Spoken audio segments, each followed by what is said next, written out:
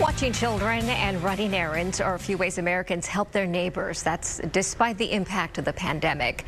The findings are part of AmeriCorps' Volunteering and Civic Life in America Research Summary. Joining us to talk more about this is Michael Smith, Chief Executive Officer with AmeriCorps.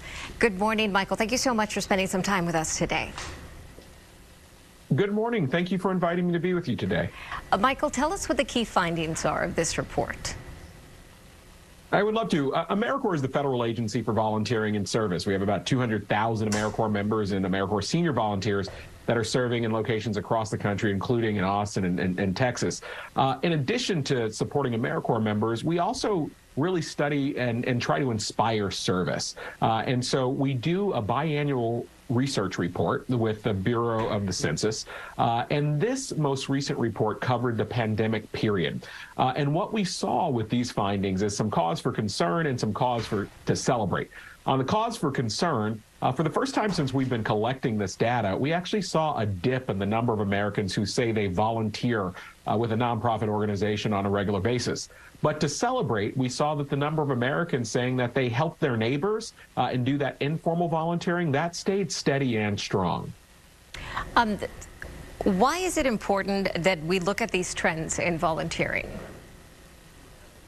You know, for, for, a few different reasons. One, nonprofit organizations, which are doing tutoring and mentoring programs, which are reducing violence, which are keeping our, you know, our parks and our oceans clean. Uh, these, you know, providing food. These nonprofit organizations, they depend on volunteers. And right now, you know uh, that demand for, for the nonprofit sector is at an all-time high.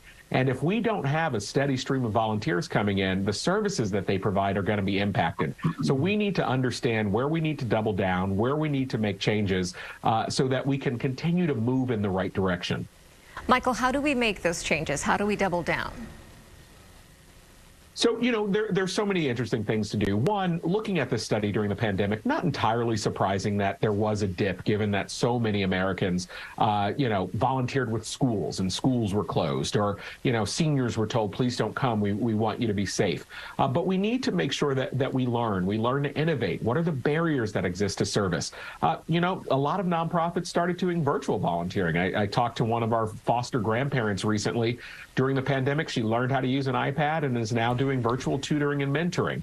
Uh, so we can we can innovate. We can see what barriers we, we need to do to remove. Uh, and then we just need to sit down with our volunteers and say, what are the incentives that you need uh, to make sure that you can continue to stay in? But I think the other thing that is important is we cannot uh, discredit or, or we can we have to pay attention to the neighbor helping neighbor, uh, the people that ran to the grocery store, the people that set up the learning pods, uh, the the folks that said to that new military family, "We'll we'll watch your kid for that extra hour." That's incredibly important to the fabric of our country and our communities. I mean, it really helped, um, just anecdotally, uh, helped communities get to know one another, and all of us became so much closer.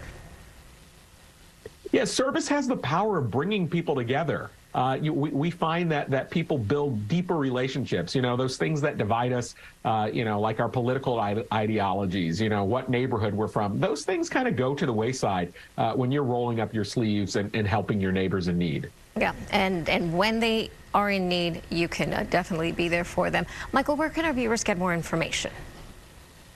So if you want to find out how you can volunteer a couple hours a week or you want to think about becoming an AmeriCorps member, get a living allowance, get an education award, you can go to AmeriCorps.gov and we will point you on the right path.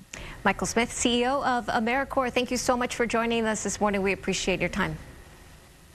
Thank you. Have a great day. You too.